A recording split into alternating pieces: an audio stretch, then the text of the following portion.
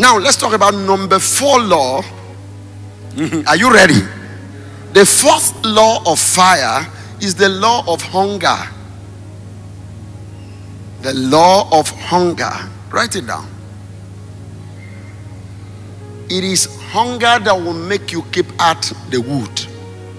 If you run out of hunger for fire, there is no magic. The fire will die. Fire has natural tendency to burn out. Do you know each time each time the devil wants to get you actually distracts you. Nice, nice, nice, nice, nice. Before you know it, you don't finish. God speaks to you, you don't hear. One of the sayings, the ancient sayings that the devil, the devil fishes in trouble water. Trouble, it troubles the water first. You get agitated, noise, everything. Then it zaps you out. So there comes a time you just steal, and I recommend it in marriage, whatever, a day that you allow your spouse to have a little bit of corner a little bit of reflection, a little bit, whether it's one hour, whatever, every day. Have a time of just being still, recollecting, thinking about something. It is, it is powerful. It is very, very powerful. These are the things that have sustained some, systems. The ancient, ancient religion, Eastern religion of Buddhism and whatever, if you go, this is what sustains from one generation to another. For you, it may not make some sense, but they have inner dynamics that keep them running generation after generation. So, recollection. Then, at least once in a year, retreat where people take one full week, seven days out. And that has influenced a lot of Catholics who are enlightened. One month, one, so you see a family or an individual, a businessman, a businesswoman, sometimes once in a year just takes a vacation out of the, that vacation one week he goes to a retreat center it goes to a place where he just prays and stays those who are deep they do that by the time you come back your eyes see what you could not see before your ears begin to hear what you could not hear before. Because there is clarity. In business, your mind is working clearer in whatever you do. So, retreat, recollection, a time with yourself, a time with yourself. And to grow, there has to be such a time every day of your life, a time with yourself. Your husband must respect that time. Your wife must respect that time. Your children must respect that time. If you want to go far, you must have a time that everybody around you respects that time. That's the secret of carrying the fire. Am I communicating? Because it is in, in that private time you will hear things. You hear things. Fire obeys principles. If it is just noise, noise, noise, noise, noise, there are noises in hell also. Sincerely, hell is not a quiet place. We have not yet started teaching about today. We are still breaking principles. We will finish it in Jesus' name.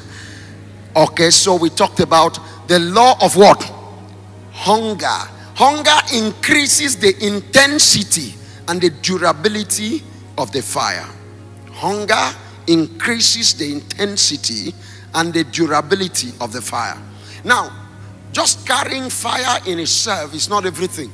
The intensity of your fire, when you talk about watts, there is 100 watts, 5,000 watts. They are not the same. The difference is in what? Intensity. So it is hunger. That some people just have hunger enough to pray once in one hour in a day for them. Mighty achievement. That is their level. If you see in the is it thermometer? The measurement of hunger. Is it in thermometer or what? Uh-uh. the measurement of hunger now there should be something that measure. Oh scientists even i mean no scientists hunger meter If you see somebody just praise one eye in a day and it's great achievement, if you look at the hunger meter of that person, Very low. very, very low. So it is hunger that will make you seek every time to push the needle. Push the needle. Push the needle. Push the needle. So sometimes when you push the needle, push the needle, the heaven is open. I don't know when I'm talking to somebody. When you push, push beyond your comfort zone, you will meet new frontier, new frontiers. You will hear the inaudible. You will touch the intangible, and you will see the invisible. It is in the place of hunger. Can you rise? Raise your right hand. Say, Father. No, I didn't hear you. Say, Father, in the name of Jesus, baptize me with high level of hunger. Pray that prayer. Pray for a few seconds. Father, baptize me with high level.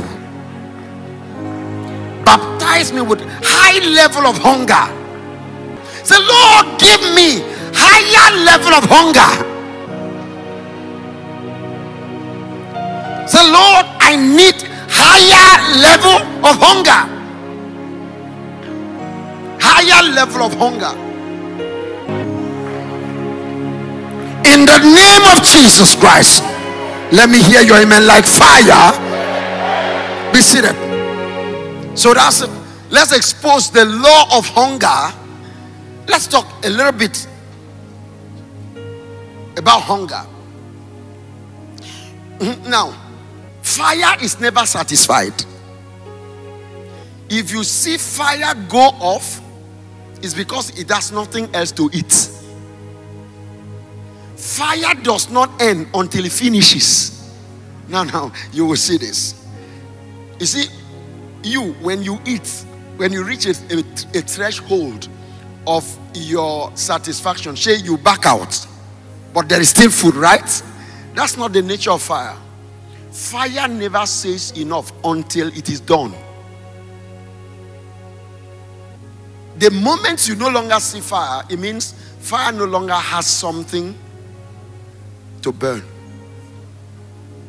This is the nature of fire. That's why you see some believers, people who used to be fiery, they used to be very, very passionate, so powerful brother. Oh, that brother, oh, that brother. After some time, they begin to dodge fellowship. They begin to avoid people who used to know that they carried fire. Why? They stop being hungry. I started life in a charismatic renewal, a Catholic charismatic renewal in Lagos as a young man.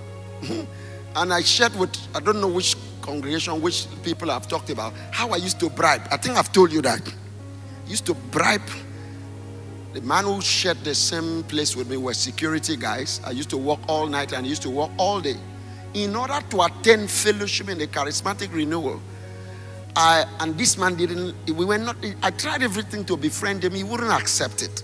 So the only way to get him sometime was to give up my food, give out my food. They used to bring us food from the company, from the headquarters, or from the factory. And you look forward to that food because you didn't have money to waste on food. So you just had to stay hungry the whole day to come and eat that beans and rice from the factory. And then, in order to get his attention and favor, you just donate that food so that, say, when my food arrives, eat it so that let me come back a little bit late. I want to attend fellowship. Just to be there and clap hands with the brethren and sing and and just listen to brothers. So the greatest thing that used to excite me in the fellowship used to be some brothers talking, you know, like brothers giving talk. Have you seen brothers who give talk?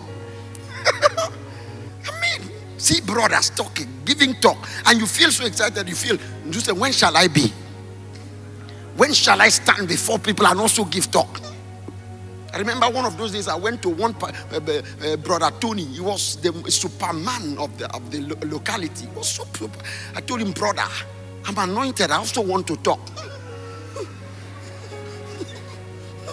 he told me, wait for your time. the most difficult thing, years later, he saw me in a ministry, big ministry as a Catholic priest. He came to me and whispered to my ear, wait for your time. For the first time, I forgave him. Say, you that brother did not allow me to talk. Now I understand.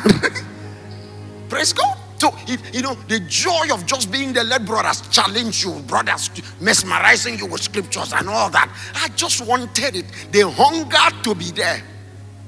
They just the, the share hunger of being there. I will give up my food for the day. Somebody who didn't like and, and encourage me will eat my food. For me to come back late, he will still be angry with me, but it doesn't matter. I have enjoyed the fellowship. Doesn't matter. I will carry my face as if I'm apologetic, but inside of me, car. Praise God. Another day I will be humble again and I will back just to enjoy fellowship. Hunger will take you far. Gifts will leave you somewhere, but hunger will take you all the way. Stand up and say, Lord, baptize me with new hunger. Speak it again. Stand up and raise those two hands and say, Lord, baptize me with new hunger baptize me with new hunger. Say, Lord, I'm not, don't let me be satisfied. Baptize me with new hunger, hunger for more. In the name of Jesus Christ. Amen. Be seated. So, fire is never satisfied. You know that you are walking in the mystery of fire when you come to a point that you are no longer satisfied with your level of prayer, your level of power. If you are currently satisfied, you are not walking in fire because fire know the belefu.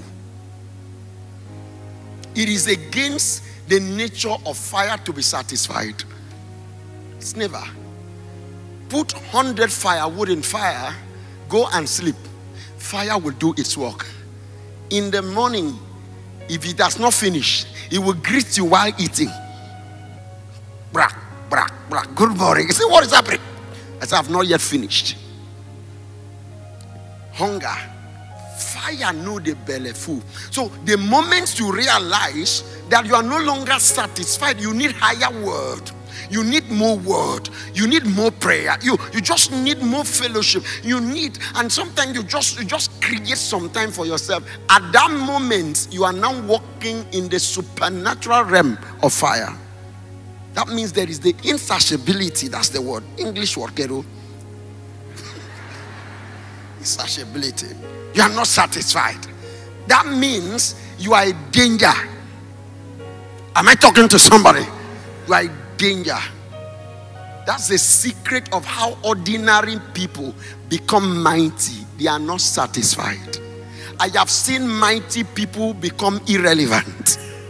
No matter the trial you go through, no matter the temptation, keep your hunger up, keep your hunger alive it is a matter of time. Affliction will come to pass. You will triumph over mountains and valleys if your hunger will not die. Keep your hunger up. Keep it up. Just raise the bar of your hunger in the face of affliction. Everything is coming against you, but keep your hunger alive. Because if you don't stop eating, if you don't stop desiring, oh, if you don't stop you will rise. You will rise above the most difficult of affliction and difficulty. So when you see people, they say, mfram, mfram, you know, but there are too many trouble, too many trouble. They are beginning to tell you, I'm giving up. I feel like giving up. Were you ever up at all? I doubt you were ever up. You just felt you were up. Show me your hunger level. You are as high as your hunger level. That's it. That's the law of fire. Now, the, why is God bringing this revelation? You know, Commonwealth of Champion is a place where ordinary people are turned into what? Champions. So we are training people for the future. Grace Family, let me share a secret with you. The vision of Grace Family is that in the future, when you have a minister that came from Grace Family into your ministry, you will thank God. You see, Success, sometimes people are not fair in measuring success. How do you measure success? Oh, the other one graduated graduated with the A with um, first class, right? I said the other one graduated with third class, right? So who is most successful? the one with first class is not true. Not necessarily true. It is measured against the obstacle they had to overcome to reach where they have reached. There are people who reach first class, they never had to fight a bat, not a fly. There are those who fought hell and deeper hell to get to third class. They are the successful one. Sincerely, the day God taught me this changed my life. I used to compare me with everybody on earth. If, when you talk, I will say, How old are you? When did you start? You say, The person just started, see where he has reached. If, if, if, you, if you fight the battle of certain people, so somebody will say, I want to be like you. Somebody will just call carelessly on radio. Father, I want to be like you. Say, you want to die young. I've been struggling trying to be myself, and you, you are looking for trouble. You know what I have fought? You will not know. If I tell you, you will never believe what I have fought. To be here. I have fought insanity. I have fought death. I have lived in one year fully, every day with the spirit of death. Every day trying something trying to strangle you in the seminary. In my third year in the seminary, the spirit told me you are living with the spirit of death, but you will not die. But the spirit telling you you will not die doesn't mean they will not try to strangle you. I've walked on the road and you lose control. Something else me you know from from the back of your head, trying to push you into a moving car. Here in Uyo. So you are struggling to get balance. All you are trying to do is to maintain balance, not to enter a moving car to die. no, no, no. I have struggled with living bees living on your head for years so that when you want to pray they start no when bees when, when, when one bee stings you right? That's normal. But when multiple bees are constantly think i'm not talking about spiritual thing you don't see them but they are stinging you and you feel it. So like your, your head is like so when wait somebody used to tell me every time you are preaching you you have you heard have you seen that before? You don't understand no, don't, don't go there. What people have to go through in order to fulfill the call. What people have to go through, and you know in the spiritual place it has been revealed to you, these are mountains you need to climb. It has been revealed, so you are not ignorant just such that certain time you don't you wish you never enter. I have told god i regret the day i accepted the call. And it didn't mean anything. God god knows. Even jesus on the cross at some moment said why have you forgotten me? Is that what does that mean? The father refused to say anything because when you're under the pain of death you can talk nonsense. I said i regret. Because to pray for one hour looks like you have to labor and fight against the legion. Because the legion knows if you pray for one hour you have grace to stay another one day. So I stop comparing myself. Don't compare. Don't compare. Fight your fight. Am I communicating? Somebody has first class, please rejoice with that person. But fight your fight. So succeed in spite of everything. So it, it was that time when you see certain people, for us to reach where we are, I have tried enough to be tall. Because you don't know the loot that I carried when I was small. Some people, you see them, they are so tall, they have never carried anything. Some people, they live and die, they don't carry anything on their head. Some of us, we carry. Why our, our neck did not have fractures? Because we're made for it. Praise God. I don't know whether you have been there. Don't worry if you have not been there. Thank God I have been there for you. I've been there for you. So you don't compare. It is hunger that has kept us alive. The swearing every time you will stand in the midst of the pain and you will shout, I shall not die. Have you heard me talk about it before? You don't know why. I am speaking to myself so that I can be my witness that in spite of all this, I will not die. There's hunger in my heart that enables me to live another day when everything tells me another day is not visible. That's the secret of hunger. Now, if I ask you to stand up and pray for hunger, will you stand up? Now stand up, raise your two hands. Say, Father, baptize me with a higher level of fire.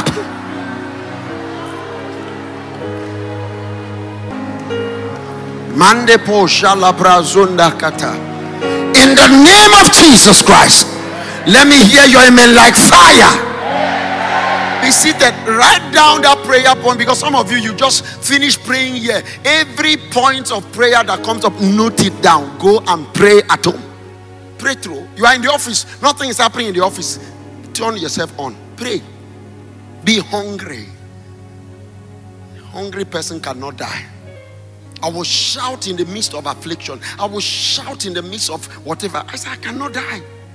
I cannot. I will not fail. I will shout and cry. And people will say, Oh, um, who told you? Urok. I am fighting my battle to keep my hunger on. Nothing breaks me. I have fought system. I have fought church system. I have fought authorities. I have fought opinions. I have fought perception. I have fought it all. Fought devils. The younger brother of devils. The cousins of devil. I fought them. Secret hunger. Few things about hunger. The power of hunger. Hunger makes you allow yourself to be stretched. I've not yet opened the scripture we will open. Let's just enjoy this. Without hunger, you will not allow yourself to be stretched. And God had to deal with me because by nature, I need to be stretched. Hunger makes you to accept stretching. Hunger makes you willing to pay the price. If you are not hungry, you cannot pay the price. Can you pay the price? Can you pay the price of rejection? Can you pay the price of standing alone and doubting if there's anybody on your side? Can you pay the price? It takes hunger. By the grace of God, I will not boast, but I have seen what it means to pay the price. It takes hunger. You want it so much. You say, if I die, it's better dying hungry than to be satisfied with what is not okay and live forever. May I not live such life. Never. It's too late. You die hungry rather than living a satisfied life at a mediocre level. I, I ask the grace of hunger to eat you. In the name of Jesus Christ. Hunger for righteousness, hunger for excellence, hunger. Hunger causes you to bounce back when you have been knocked down. It takes hunger. You've been knocked down, and severally, the enemy who will either knock you down or attempt to knock you down. Being knocked down is not defeat. I watch boxing. not involved in any sports. I don't play any. But I love sports because it's a game of competition. It's a life of competition. I compete against myself every day. So there was a time I devoted myself to watching, watching champions, watching boxing. Mayweather Junior, Floyd Mayweather Jr., and people like that. Manny Pacquiao and all those guys. I will watch their training, watch their documentary, I watch them. People, they knock people down, they stand up and eventually defeat those who knock them down. That's it. Champions are not those who have never been knocked down. Champions are those who never stayed down. It, it, takes hunger to get you up after you've been knocked down. So, in case you have been knocked down, knockdown is not knockout. If you can stand up, it's not knockout. Knockout is you've been knocked down, but you cannot stay up again. It's over. So you rise. It takes hunger for you to rise. I read some books too that are not spiritual. Can't Hurt Me. I think that's it. Can't Hurt Me is one of those books. I think by one, I don't want to go, one Navy SEAL and all that. A man of hunger who have overcome incredible obstacles to be among the one of the greatest Navy SEAL, greatest human being in the American military, in their history. Amazing. I think David Grogan or something, some name, I can't skip it. Don't want to go look for it. Hunger causes you to burn. Hunger makes you celebrate victory. and makes you grieve with detachment. This one, I will let you know. You see, a hungry person stays in grief. Brief. A hungry person stays in victory. Brief. Briefly. Lazy people, they stay in grief forever and they stay in victory forever. You see, some people, when they celebrate one victory, one year, they have not yet gone back to work. They're still celebrating. And when something happens to them, grief, they will stay for three years and expect everybody to visit them. Those are the people who are constantly accusing the church. They are not caring. Those grief lovers.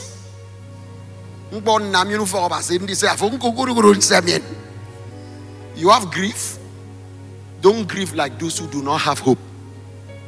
A hungry person, as a matter of rule, let's before I open the scripture, let's keep this rule. As a matter of rule, don't celebrate anything beyond one day and don't grieve anything beyond one day. It's very hard, though, but if you make it as a rule and work towards it, you will go far in life. Grief has a way of breaking you and making you incapable of walking again. So, grieve briefly and move on. Celebration has a way of stealing your strength. Oh, we have already won. See, some people they make a little money, they go and sit out, sit out, sit out, sit out, sit out, sit out. Nonsense. Move on. It's a matter of you celebrate from morning. Once it's evening, recollect. Wake up the following day in action. You are grieving from morning till evening. Wake up the following day in what? Action. You will go far. It takes hunger for more for you not to allow grief to take your life and for you not to allow celebration of victory to take your life. Having said that, and these are principles that came to me in the presence of God after prayers. I sit down and these things will come. You just write them down. It's not like you got them from book. And I, even if I, this is all I tell you, they come from the Spirit. And if you apply them, they will change your life. Will change your life. Having said that, mm, Elisha is a man who walks in an unprecedented level of fire in the Old Testament. Apart from, there is no man in the whole of the Old Testament, and there are very few people in the entire Bible that can be compared to a man called Elisha in matters of hunger. Praise God. He's a model. First Kings, write it down you check it again. First Kings chapter 19, from verse 15 to 17. He's a model of the law of fire in the Bible. Then the Lord said to him, He said to Elijah, Go, return on your way to the wilderness of Damascus. And when you arrive, anoint Hazael as king over Syria. Praise God. Also, you shall anoint Jehu, the son of Nimshi, as king over Israel. And Elisha, the son of Shaphat of Abel Meholah, you shall anoint as prophet. Where? in your place. Glory. He said, You will anoint him to be in your place. That means a man who will stand in your stead. There are different levels of anointing. There is an anointing that will make a man walk with you, there is an anointing that will make a man walk after you or behind you. But there is an anointing that will make a man stand in your place and then see the person to be anointed to stand in the place. Have you ever heard the story of Elijah? Before Elijah came to confront Ahab, where was he? Do you know his father? Do you know his mother? Do you know his history? What do you know about Elijah? Go and find out. There are very few things. Elijah just broke out like a meteor in the heavens, just broke out from nowhere. And a man will stand in his place has to be a man who has what it takes to break out from nowhere.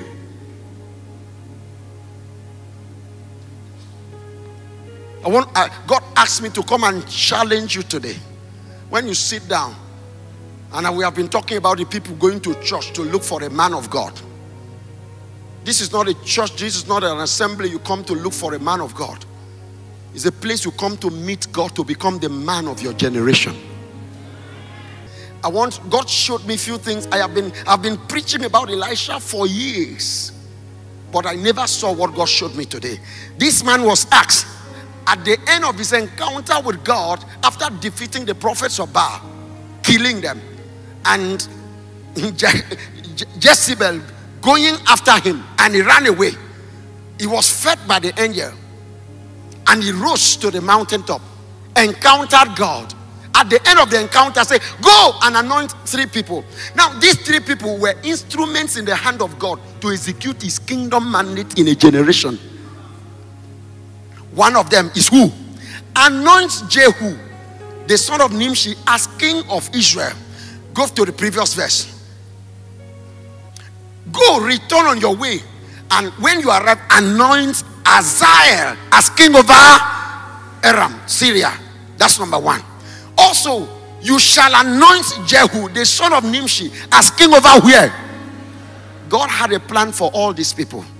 And Elisha, the son of Shaphat of Abel Meholah, you shall anoint as prophet. Where? In your place. That means you cannot die. When I tell people I will never die, people don't understand the depth of that revelation. I cannot die because before God calls me home, somebody will stand in my place. Death is termination, death is an end, life is continuity. Christ died and rose, He lives in me. Paul says it's no longer I, but Christ who does what? That means Christ is walking the earth right now. Death could not hold him. That's the mystery of life and our calling. I can't see death. My call will live until Christ comes on earth. Why? In every generation, there will be somebody who will stand in my place. This is the covenant. God, that's the will of God, that's the plan of God. When God raises you, He does not raise you to end, He raises you to last forever. It now is left for you to walk in the laws. He told David, when Saul failed, Samuel said, God had wanted to make your kingship to last forever, but it shall not be so. David, in spite of his mistake, God said, Your kingdom shall last forever. That's the plan of God. Why? In every generation, somebody in your place. So, as a father, you have to have that mindset. In business, you have to have that mindset. If your business ends with your generation, you are a fool. If your call ends with your generation, you are a fool. You didn't do it well. You can be anointed but foolish. You can be gifted but foolish. It takes wisdom to walk in principle. It is not gift that keeps you, it is the wisdom to use gifts. Right, stand up and lift up your two hands. Say, I receive wisdom of hunger for more fire. Shout it. I say, Lord, I receive wisdom for more. Halaboshakata. Mande pralabosha. Say, I receive wisdom for more. As I speak now, let the fire for the men and the women of this generation let it come upon you in the name of Jesus Christ. Amen and amen. Be seated. Be seated. This is so important. Next verse. Next verse. It shall be that whoever escapes the sword of Azael, Jehu will kill. And whoever escapes the sword of Jehu, Elisha will do what? Okay. This that means this were to build a triangle of execution of God's mandate. In every generation, in every community, in every sphere, God raises a triangle. Men who will execute his kingdom mandate. Women who will who will birth and nurture and execute his kingdom mandate. That's why if you just give birth to a pound of flesh, if you just give birth to a lump of flesh, you are a mammal. But if you give birth to destiny, you are you are a human in the image and likeness of God. That's why, husband, your wife is pregnant and you are gallivanting and using the, the pregnancy of your wife as an excuse to come back late. You are a mama. Because goats also carry children. and he goats don't attend to them.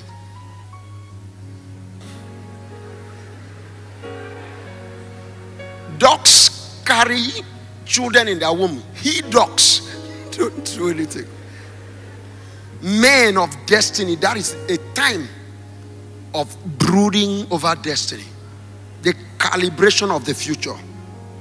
In spe- specific speaking, as a mother, that is the time that when your two hands are resting on your tummy, it's not a sign of tiredness, it's a sign of vision.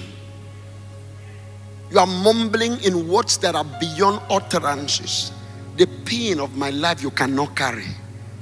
It took me many years and many fasting and prayer to marry. Yours shall not be so. You speak out your pain and bring the glory of God. Shh. You are alive today because the future needs you. Why you have not died, why accident has not claimed you, why things have not stolen you is because the entire creation in your sphere they have been waiting for the revelation of image and likeness. I cannot preach the gospel of a cocky and beans. The gospel that makes you feel if you eat and drink, God is good. Shut up. Criminals eat and drink, and God is not good in their criminality. We're talking about God as birthing a generation that will birth another generation, that will birth the sons and daughters of God on earth. And people say, I want to be a minister. Minister, what are you birthing in ministry? What are we raising in church? What do we produce into the society?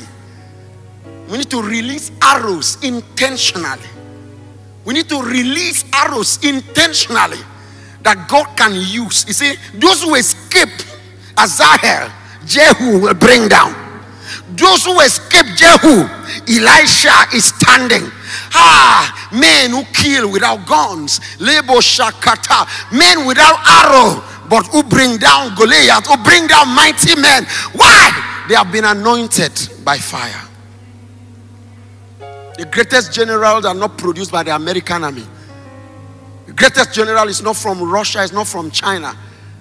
The real general, they are produced from the heavenly kitchen, the corridor of the Holy Ghost. I wish that fire will burn. And that's the cry of Jesus. I came for fire. It takes anointing to raise those who will execute the mandate of Jehovah, who will kill what killed the ancestor. This, you see, some will escape Azael, but Jehu is there. Some will escape Jehu, but, uh, but Elisha is there. That's why when a minister is envious of another minister, is an antichrist. Because there are certain enemies you will not kill.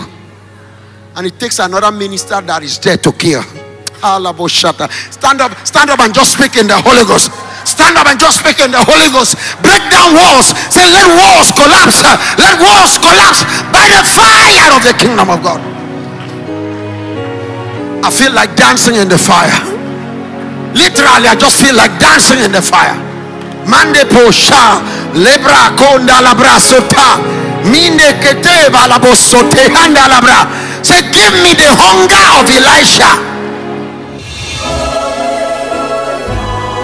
Patrick Grace Henry is the president, Grace Family Commonwealth of Champions. Worship with us every Sunday, 8:30 a.m. Champions University, and subsequently Extended Family Assembly, 10 a.m. Aired live on Planet 101.1 FM, Uyo.